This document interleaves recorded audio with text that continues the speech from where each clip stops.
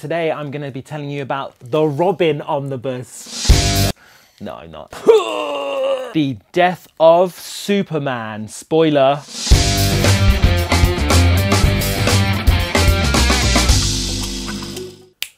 Death of Superman, but it also has uh, The Return. Death and Return.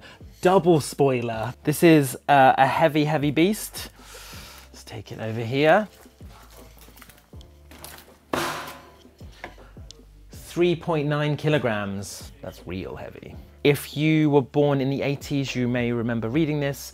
The reason I'm picking it is nostalgia because my first ever graphic novel was The Death of Superman. I think I was like nine or 10 years old. Killing off Superman at the time was pretty crazy. Essentially, it was a marketing stunt, somewhat similar to um, Batman Knightfall, where his uh, back is broken.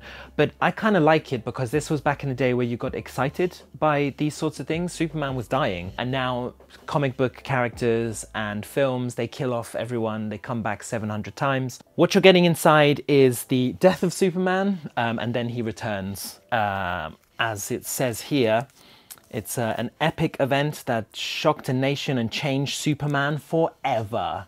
In fact, I don't think he ever really recovered, to be honest. It's very 90s. I think it's a bit like rewatching an old Quentin Tarantino film or listening to an old metal album. The shock isn't quite there anymore. I love this Superman and then the uh, logo with the blood coming off it and then the Death and Return of Superman Omnibus. DC Omnibuses in general aren't as, quite as good as Marvel's, but this kicks ass. It's minimalistic.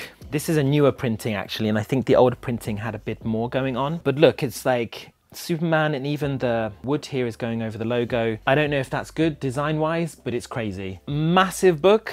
It's got a lot of content in there. If you like Superman and you like DC, this is definitely one of the better ways to read it.